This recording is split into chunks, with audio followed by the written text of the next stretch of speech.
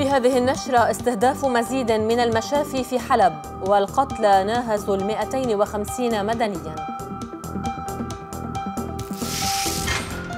وفاة شقيق وزير الداخلية إثر سقوطه من شرفة منزله. طلعت لقيت واحد على الأرض آه، عم ينزل دم من راسه ومنخاره نازل منه دم. ترامب يهرب من الاحتجاجات عبر الباب الخلفي.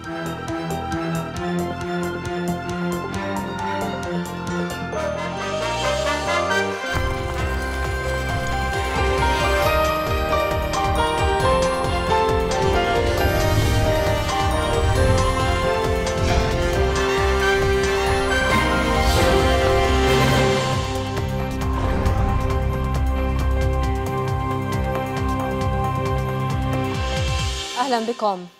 حلب على نارها وآلة الحرب من الطرفين تحرق الأطفال والنساء ولا توفر المستشفيات والمساجد. وفي اليوم الثامن للحملة العنيفة استهداف مزيد من المرافق الطبية والخدماتية. أبرزها مركز بستان القصر الطبي الذي كان هدفا لإحدى الغارات في مناطق سيطرة المعارضة في المدينة. وبحسب المرصد السوري فقد بلغت حصيلة الضحايا من المدنيين 250 قتيلا منذ بدء القصف. إذا بدء هدنة مؤقتة في دمشق والغوطة الشرقية واللاذقية فيما حلب ترزح تحت النار. بدأت في الساعات الأولى من صباح السبت سريان مفعول هدنة في دمشق ومنطقة الغوطة الشرقية خارج العاصمة دمشق ومحافظة اللاذقية وفق بيان للجيش السوري. ولن تشمل الهدنة مدينة حلب التي تشهد تصعيدا عسكريا بالغا أدى إلى قتل العشرات حتى الآن. وفي اليوم الثامن للحملة العسكرية على المدينة استهدفت غارة جوية مركز بستان القصر الطبي من ضمن سلسلة هجمات استهدفت على وجه الخصوص المرافق الطبية في مناطق سيطرة المعارضة بالمدينة. ونقل عن الدفاع المدني أن مدنيين لا يزالوا عالقين تحت أنقاض المباني التي دمرتها الغارات. وقال بيان الجيش السوري أن الهدنة التي وصفت بنظام تهدئة ستستمر في دمشق والغوطة الشرقية 24 ساعة في حين تمتد في الريف الشمالي بمحافظة اللاذقية إلى 72 ساعة ولم يوضح البيان أسباب الهدنة المؤقتة. هذا ونقل عن مسؤول بارز بوزارة الخارجية الأمريكية قوله أن بلاده تسعى لوقف القتال في اللاذقية والغوطة في دمشق على سبيل الاختبار لمحاولة إحياء وقف الاقتتال في كل أنحاء سوريا بما يشمل حلب.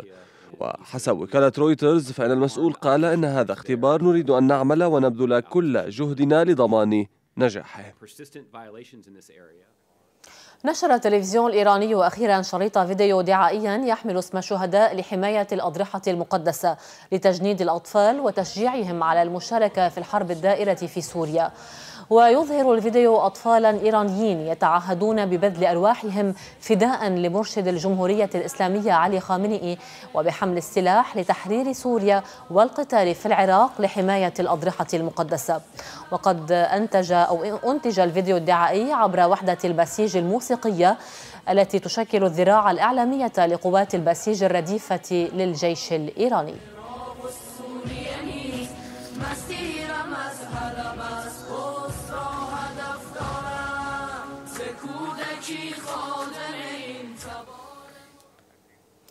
شقيق الوزير نهاد المشنوق يقضي إثر سقوطه من شرفة منزله في رأس النبع.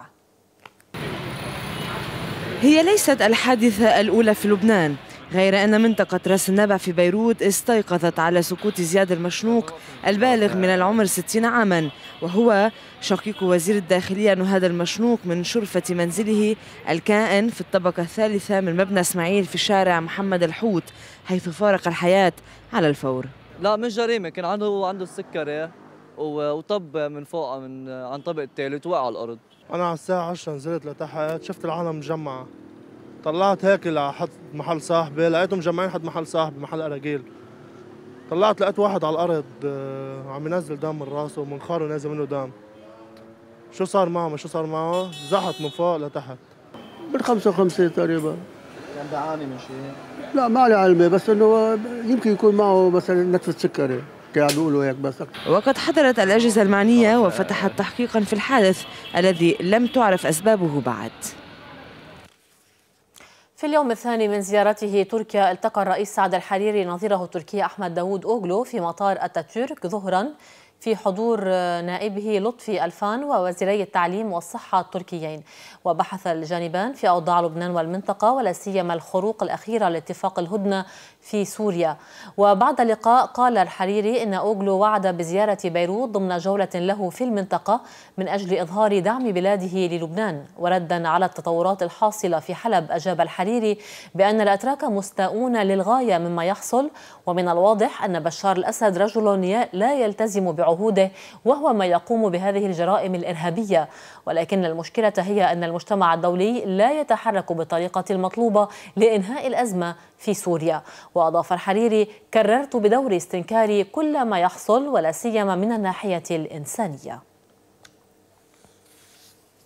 وزير الصحة وائل أبو فعول يؤكد في خلال افتتاحه قسم التوحد والعلاج الفيزيائي في راشية أن علاقة جنبلاط بالحريري ممتازة ويصف بري بحارس الميثاقية.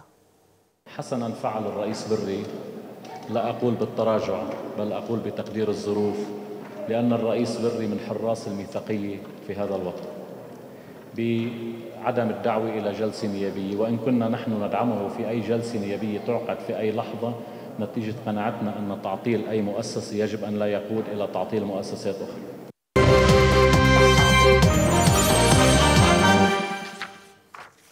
أهلا بكم من جديد. امنيا نفذ الجيش اللبناني عملية دهم صباحا في حي الشراونه في بعلبك بحثا عن مطلوبين من آل زعيتر ما أدى إلى تبادل لإطلاق النار بالأسلحة الخفيفة لكن من دون وقوع اصابات واسفرت العملية بحسب الوكالة الوطنية عن توقيف المطلوب فيصل زعيتر. رأى النائب الممدد وليد جنبلاط أن الوضع غير ملائم اليوم لانتخاب رئيس للجمهورية في لبنان لكنه قال لا أمانع أن ينتخب العماد عون رئيسا إذا كانت المصلحة الوطنية تقتضي ذلك وإذا تنازل سليمان الفرنجي. فالمهم انتخاب رئيس. ودعا جملات في حديث لموقع إلاف إلى الكف عن مقاربة حزب الله مقاربة إقصائية متوقعا أن يطول أمد النزاع السوري عشرة أعوام على الأقل. وأضاف أن لحزب الله حسابات سياسية خاصة لكنه يظل مكونا أساسيا في لبنان شئنا أم أبينا ولا نستطيع أن نستبعد حيثية الحزب. لذلك تظل المقاربة الهادئة الحوارية معه أفضل. ائتلاف حزب الله وأمل والأحزاب يعلن خوض الانتخابات البلدية في بعلبك بلائحة التنمية والوفاء للمقاومة.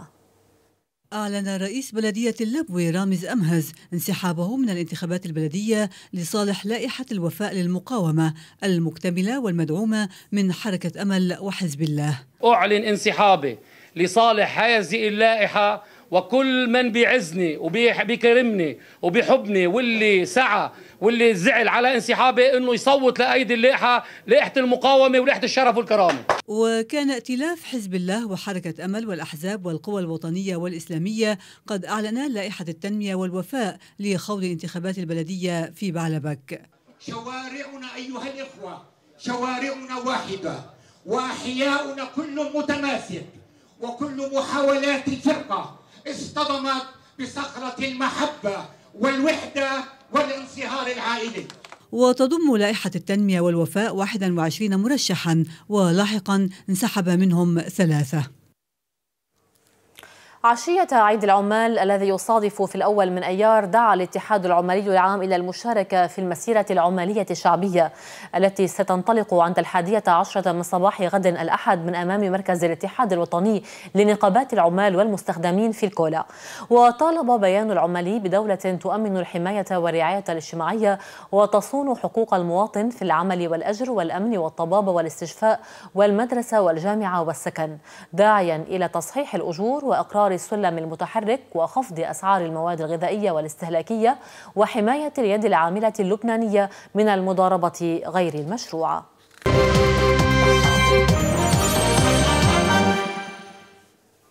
أهلا بكم من جديد. أعلنت وزارة الداخلية السعودية أن قوات الأمن تمكنت من إحباط عمل إرهابي وشيك بعد متابعة حثيثة لسيارتين تم رصدهما في أحد المواقع خارج محافظة بيشة بمنطقة عسير. كانت إحداهما محملة بمواد متفجرة. وذكرت الداخلية في بيان أن قائدي السيارتين قام بإطلاق النار في خلال ملاحقتهما والانحراف إلى منطقة صحراوية فتمت مطاردتهما بمساندة طيران الأمن وإعطاب السيارتين ليترجلا منها ويتحصنا بأحد المواقع الجبلية قبل انفجار المواد التي كانت في إحدى السيارتين. ولفت البيان إلى أنه وبعد محاصرة الرجلين وتوجيه نداءات الاستسلام واصلا إطلاق النار باتجاه رجال الأمن ما اقتضى الرد عليهما الأمر الذي أدى إلى مقتلهما. في إيران فاز تحالف يجمع الإصلاحيين والمعتدلين المؤيدين للرئيس الإيراني حسن روحاني على المحافظين في الدورة الثانية من الانتخابات التشريعية التي جرت أمس. وبحسب نتائج أولية نشرتها وسائل أعلام إيرانية فقد حصدت لائحة الأمل التي تمثل الإصلاحيين والمعتدلين 33 مقعدا على الأقل من 68 مقعدا جرى التنافس عليها في الانتخابات من أصل 290 مقعدا في مجلس الشورى الإيراني. وذكرت وكالة أنباء فارس المقربة من المحافظين أن الإصلاحيين والمعتدلين حصلوا على 33 مقعدا على الأقل مقابل 21 للمحافظين. لليوم الثاني تظاهر مئات الأمريكيين في ولاية كاليفورنيا ضد المرشح الجمهوري المثير للجدل دونالد ترامب الذي بات قريبا من نيل ترشيح الحزب في السباق الرئاسي نحو البيت الأبيض. وأجبر المتظاهرون ترامب على إيقاف موكبه أمام فندق بمدينة بورلينغهام جنوب سان فرانسيسكو ودفعوه إلى الدخول من الباب الخلفي حيث كان ترامب في طريقه إلى الفندق من أجل إلقاء كلمة أمام مؤتمر محلي للحزب الجمهوري. وحمل بعض المشاركين في التظاهرة أعلاما مكسيكية تعبيرا عن رفضهم مواقف ترامب المناهضة للمهاجرين من المكسيك.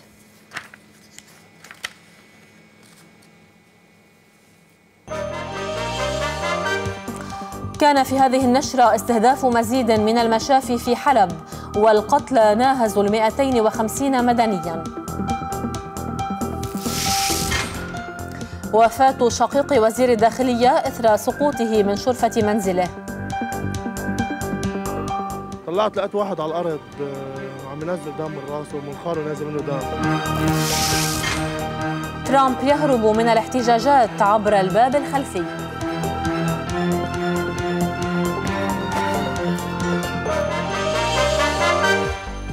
في الختام شكرا للمتابعة وإلى اللقاء.